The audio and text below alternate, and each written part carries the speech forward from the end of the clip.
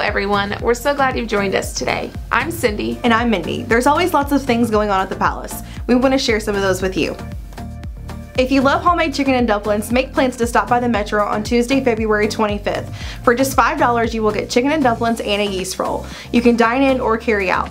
There will also be individual and family-sized desserts available at the bake sale. The Dumpling Cafe will be open from 10.30 a.m. to 2.30 p.m. For large orders, call 785-4232. Jonathan Ziegler will be with us today in the AM and PM services. Invite your family and friends to join us for this time of powerful worship and the Word. The 2020 Missouri Women's Retreat at the Chateau on the Lake in Branson is coming soon. Watch this for details. It's that time again, ladies. Time for what? Missouri Church of God Ladies Retreat. Oh yeah, how could I forget? If you're looking for an amazing weekend of worship in the Word, plus food, fun, and fellowship with just the ladies, this is the event for you.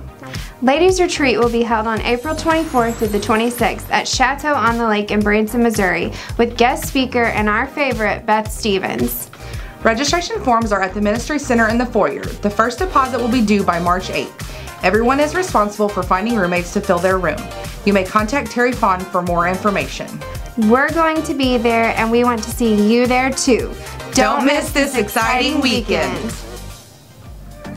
The formals previously used by Princess Diaries will be on sale Saturday, February 29th. Short formals will be $25. Long formals will be $35. The dress sale will be upstairs in room 203 from 10 a.m. to 2 p.m.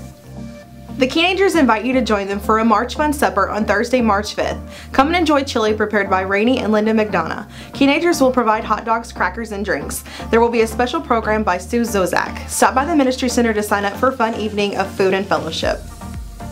Would you like to help foster children and foster families by picking up a few extra items the next time you go shopping? The local Foster Adopt Connect group is having their annual community drive during the month of March. Stop by the Ministry Center to pick up a complete list of needs.